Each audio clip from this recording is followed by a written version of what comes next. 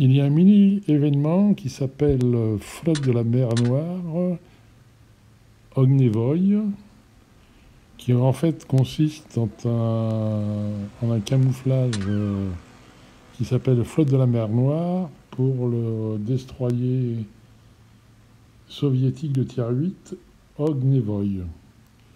Euh, donc, il euh, bah, faudra voir si c'est intéressant par rapport au camouflage historique. Déjà, rien que le prix, 19, euh, j'ai fait un petit calcul. si on compte 3500 or pour, une, pour un camouflage de bateau, c'est un peu plus cher que, que l'équivalent de 3500 pièces d'or. Ceci dit, ça m'a donné l'idée de, prendre ce, bateau dans l'arbre soviétique, le voici. Alors c'est une nouvelle branche qui a été créée et on peut penser qu'il y en aura après un destroyer de tiers 9 et 8, de tiers 9 et 10, pardon.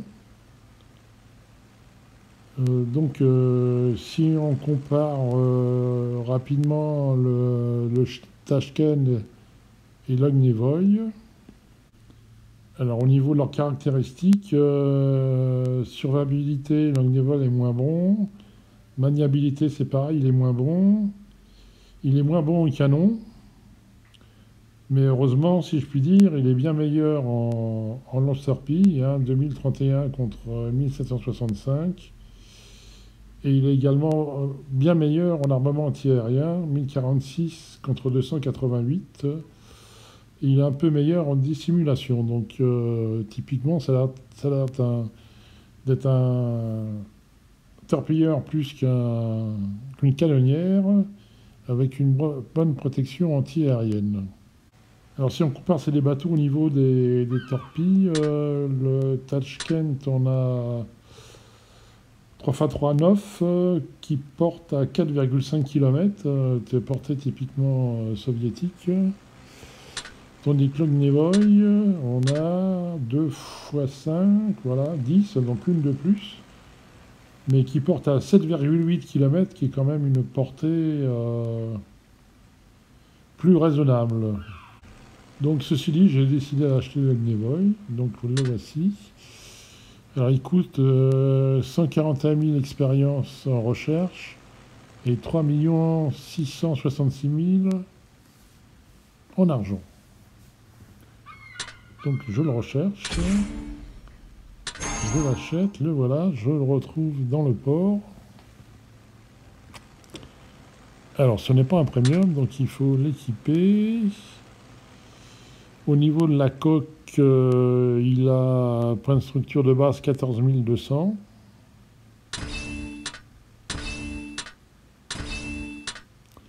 Et j'arrive à 16756. Pour les canons, Dégâts chauds de base 380, AP 420.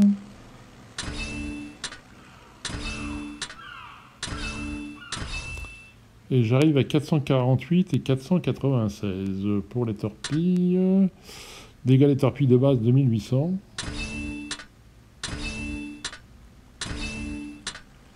Et j'arrive à 3304. Pour la conduite de tir, porter les canons principaux 8,1 km.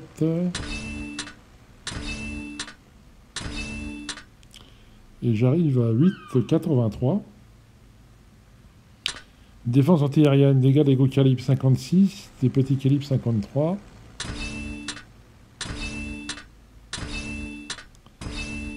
Et j'arrive à 66 et 63.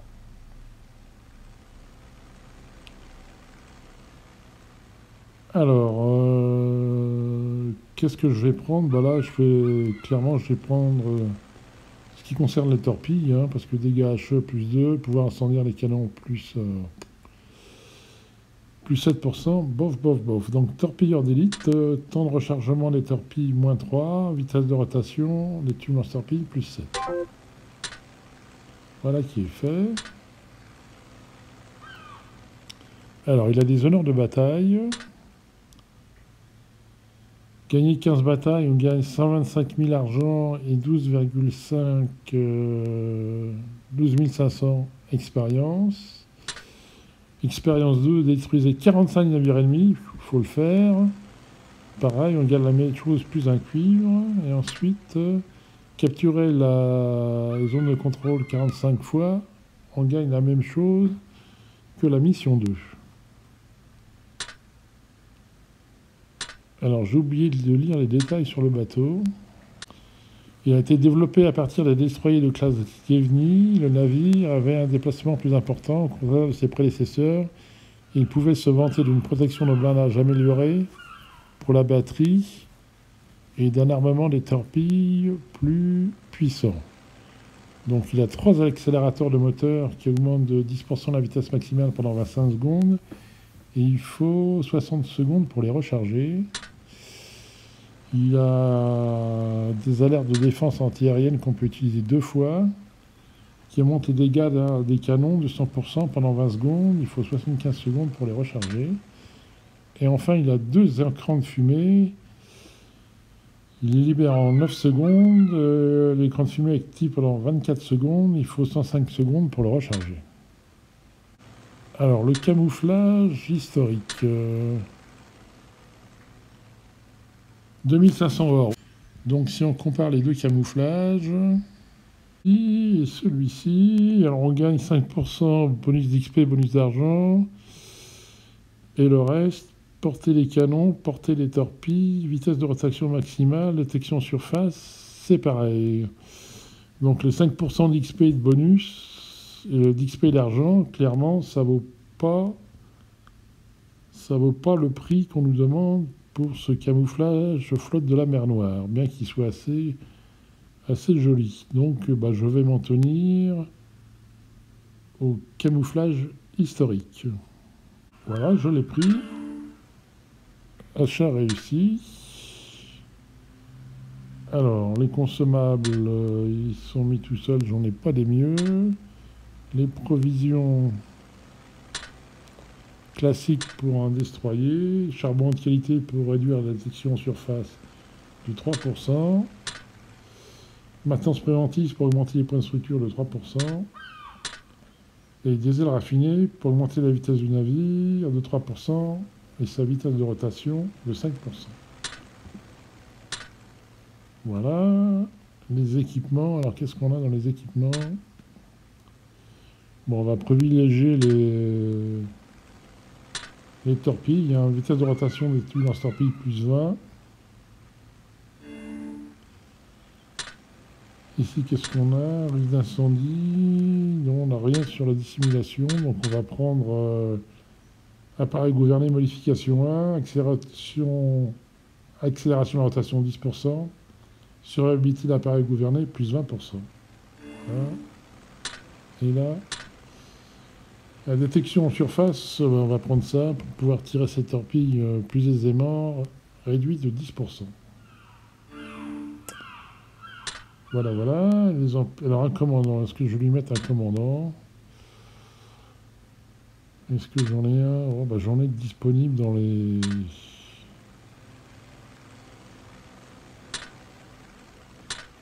Dans le baraquement, je vais le prendre, voilà, classique, là, dégâts infligés par la torpille, moins 3.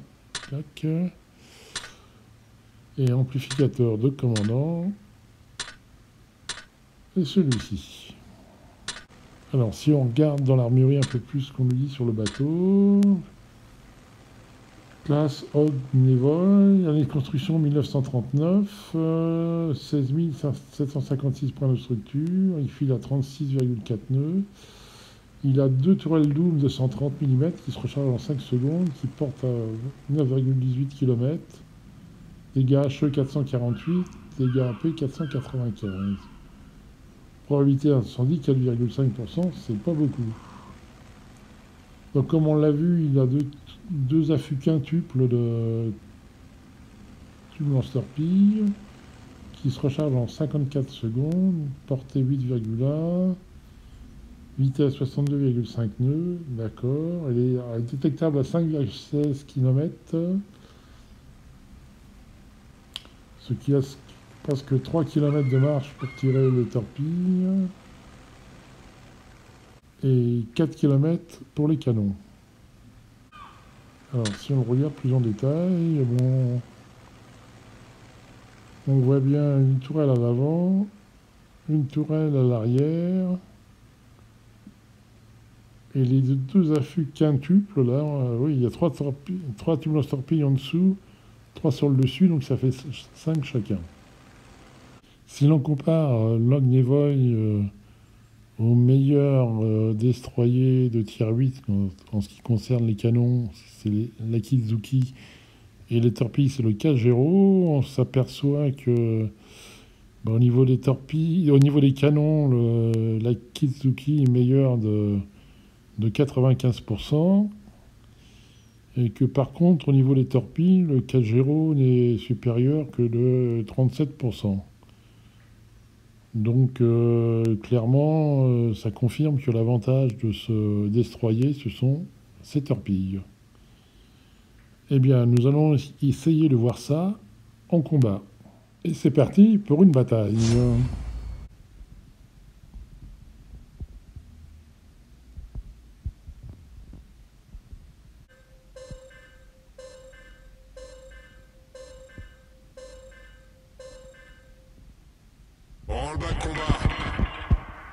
Capturez la zone A.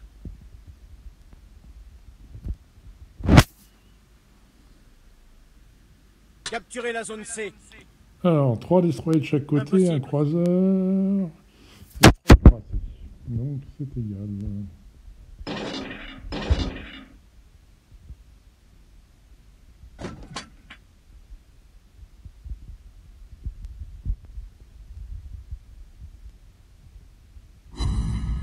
Notre équipe capture la zone.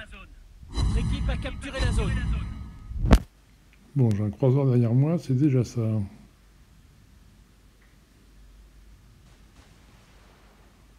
Il y a des obus qui C'est lui qui a tiré là.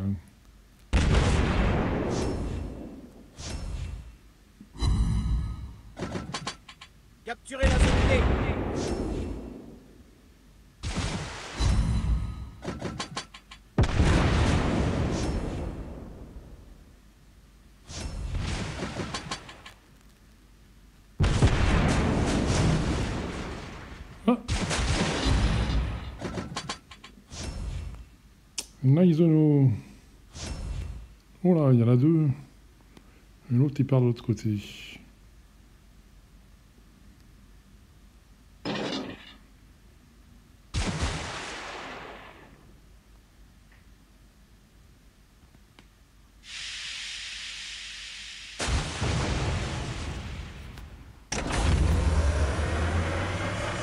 Boost du moteur activé. On balance tout et on s'en va.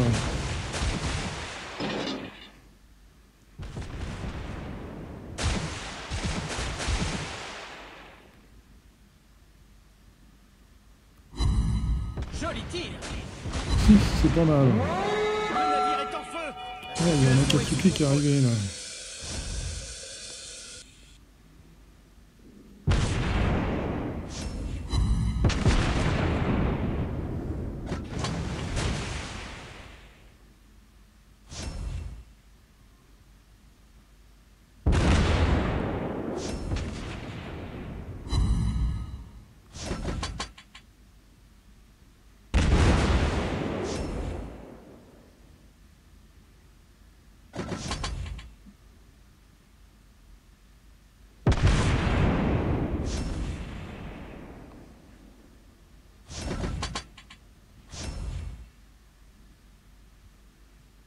Oui, la Katsuki. Notre équipe a capturé la zone. Bon, on a trois zones, en soi, en soi c'est pas mal. Je voudrais pas que la Katsuki m'attaque, là. Boost du moteur activé.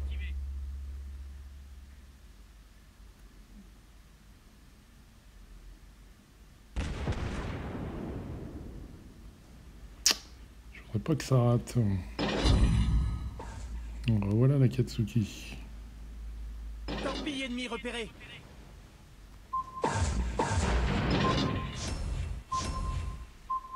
Ah voilà, les torpilles de la Katsuki.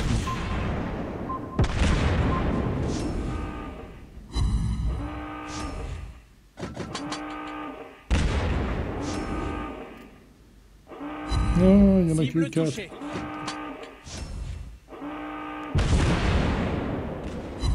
Travail.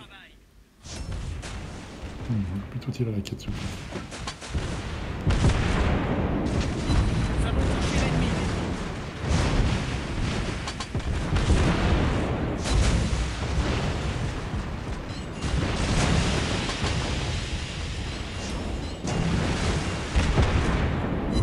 Beau travail.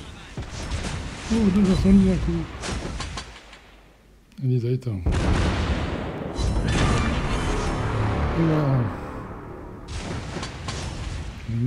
Des torpilles.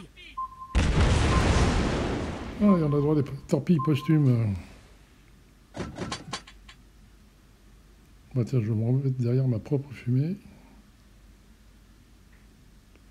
Ah mais je suis tout seul là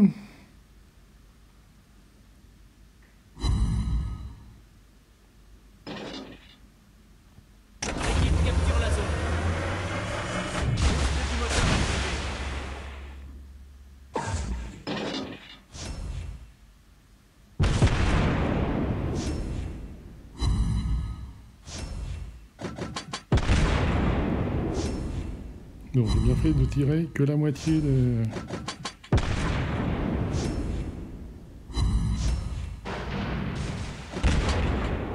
de mes torpilles.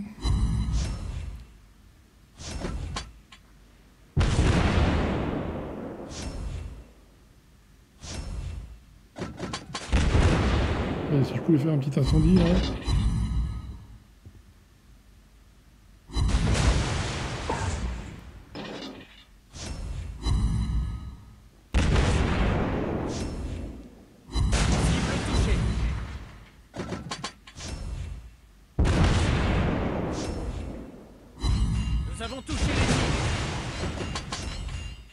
Notre équipe est sur le point de gagner. Oui, il va peut-être en prendre une.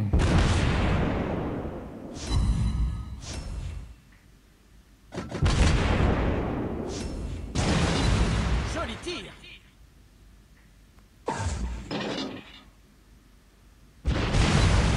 40 secondes. Qui va survivre?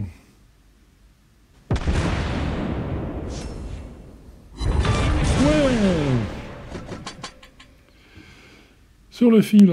Pouh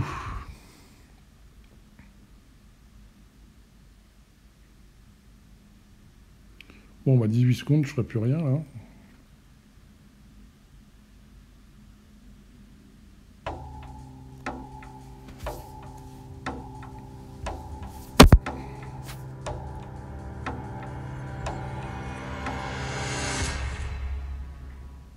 Étoile de bataille.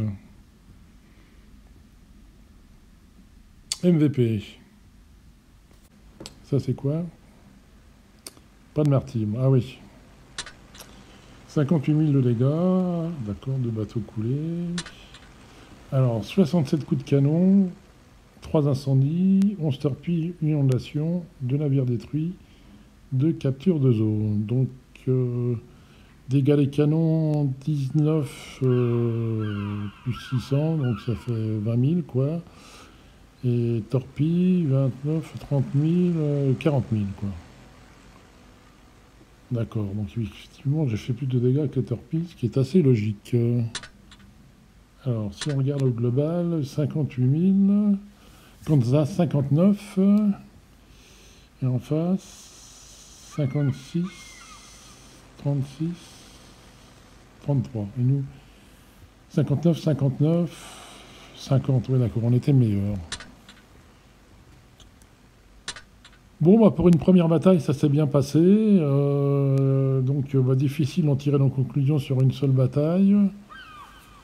Euh, J'ai réussi à tirer mes torpilles, plus ou moins bien.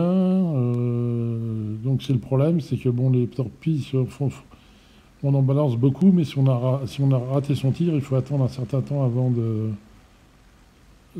tirer une nouvelle bordée. Bon, j'ai plus utilisé mes canons que j'aurais pensé. Donc, euh, bah, au vu du résultat, ça a l'air d'être un bon destroyer. Ça reste à confirmer euh, dans d'autres batailles. Voilà, à bientôt